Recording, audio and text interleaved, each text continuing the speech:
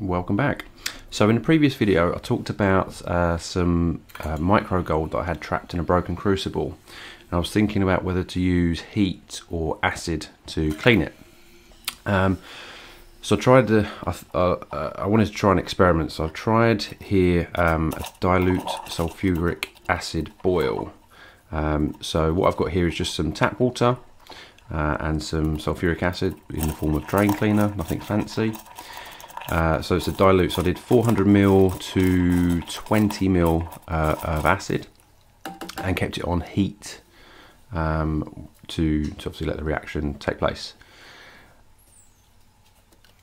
I'll show you here. So this is this is what they look like. They're starting to bubble already. Just a sort of light fizz. You don't obviously want a crazy reaction. And I think you can just see just see some bubbles coming out the bottom there obviously I kind of think the crucibles after this are going to be ruined, but that's fine, it's broken anyway. Uh, so this is what they look like before, as they went in. And after about an hour, clean as a whistle. Everything came off, even the tiniest of tiniest of tiniest of little beads all came off. The crucible actually looks like in quite good condition. I kind of think if it wasn't broken, you could probably reuse it, although I wouldn't want to. And this is what we got. Doesn't look like much, but I'm actually pretty surprised at how much came out of there. See it's all just tiny little beads. There was one sort of flaky bit, but nothing too too big. So let's weigh it up. So I dried it and weighed it. I've got a little uh, pot here tar that out.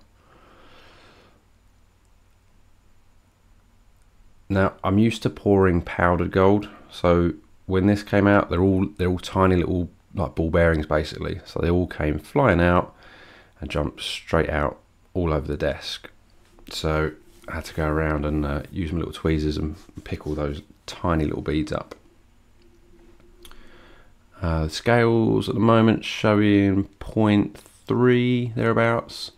There was a, there was a, a bit of kind of um, I suppose it was kind of undissolved borax, which you're going to add to the weight slightly, but probably not too much. And then once I'd picked everything up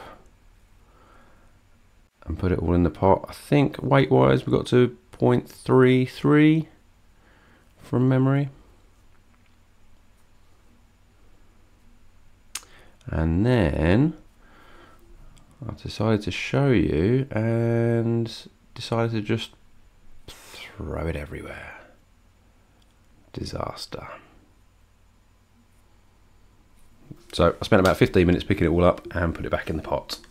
Happy days. So yeah, we ended up with uh, 0.35 grams from just one crucible, which I thought was kind of crazy to be honest.